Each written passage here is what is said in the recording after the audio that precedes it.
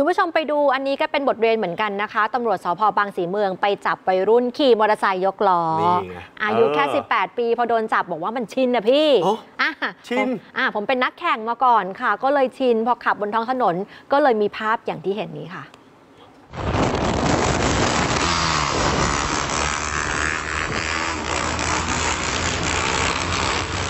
เนี่ยมันชินมันติดนิสัยยกล้ออะพี่ โอ้โหมันเสี่ยงไงมันอันตรายไงก็โดนจับกันไป เพราะว่าคลิปนี้ที่สุดแล้วถูกแชร์ต่อกันในโซเชียล แล้วเพื่อนเป็นคนถ่ายด้วยนะคะอ๋ออ่มอเตอร์ไซคันนี้ก็ขี่ด้วยความคึกขนองกันเนาะครับ มียกล้อยกล้อ แล้วเป็นทางยาวเลยนะ ยกล้อไปนานกว่าหลายวินาทีหวัดเสียวค่ะ เหตุการณ์เกิดขึ้นในพื้นที่สพบางสีเมืองนนทบุรี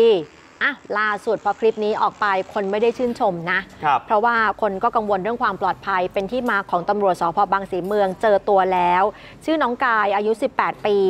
เป็นนักแข่งรถมอเตอร์ไซค์อ่ามันติดนิสัยอะพี่ผมชอบยกล้อมาจากในสนามอุ้ยแต่ว่าแข่งมอเตอร์ไซค์ปกติเขาไม่ได้แข่งยกล้อกันเปล่านั่นน่ะสิผัดผัดแผลงวะคะนั่นสิไม่ไม่แน่ใจเหมือนกันวันเกิดเหตุก็แข่งรถมาแล้วก็เลยลองยกล้อกลางถนนทำไปอืมด้วยความคึกขนอง แล้วรุ่นพี่ที่ขับกระบะเนี่ยค่ะ จะเห็นไหมคันนี้ครับคือรุ่นพี่เขานะขับกระบะตามถ่ายคลิปให้ แล้วก็นำไปโพสต์ในโซเชียลกะโชว์เต็มเหนียวเลยเออเนี่ยโชว์เลยอ่าไม่คิดเลยว่ามันจะกลายเป็นประเด็น กระทั่งตำรวจติดต่อมาตกใจนะ และยอมรับผิดทุกอย่างที่ทำไปค่ะ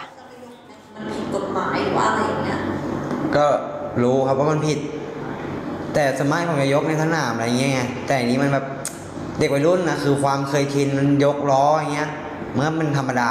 อะคือขนองใช่ครับ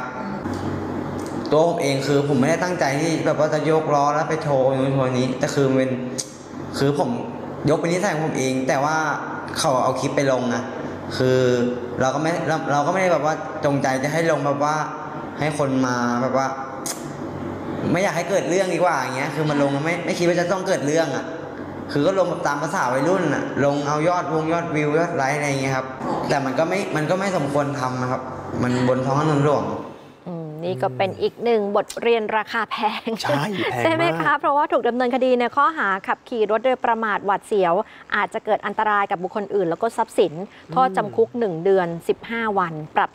3,000คุมประพฤติ 1 ปี รายงานตัว 4 ครั้ง แล้วก็พักไปขับขี่ 6 เดือน ซึ่งน้องกายเองก็จ่ายค่าปรับตามกฎหมาย แล้วก็โทษอื่นๆ รอลงอาญา 2 ปีครับตำรวจสพบางสีเมืองเตือนเลยค่ะ กลุ่มวัยรุ่นที่คึกขนองอย่าทำแบบนี้นะคะมันอันตรายมาก ๆ ทั้งต่อตัวเองและคนอื่นด้วยค่ะ ใช่นะ จะทำอะไรคิดดี ๆ กันสักค่ะนิดหนึ่งนะฮะ